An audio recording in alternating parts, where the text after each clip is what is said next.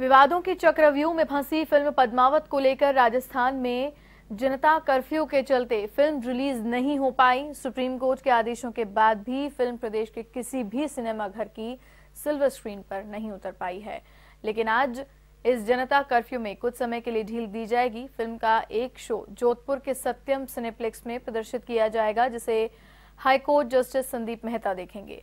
Film screening के दौरान registrar justice Mehta के निजी सचिव स्टेनो सहित कुल पाँच लोग सिनेमा हॉल में होने की बात सामने आ रही है और ऐसा इसीलिए हो रहा है क्योंकि फ़िल्म निर्माता संजलीला भंसाली अभिनेता रणवीर सिंह और अभिनेत्री दीपिका पादुकोणे पर नागौर के डीडवाना थाने में एक एफआईआर दर्ज की गई थी, जिसमें फ़िल्म के द्वारा जनभावनाओं को आहत करने और इतिहास के साथ छेड़छाड़ करने का आरोप लगाया गया था।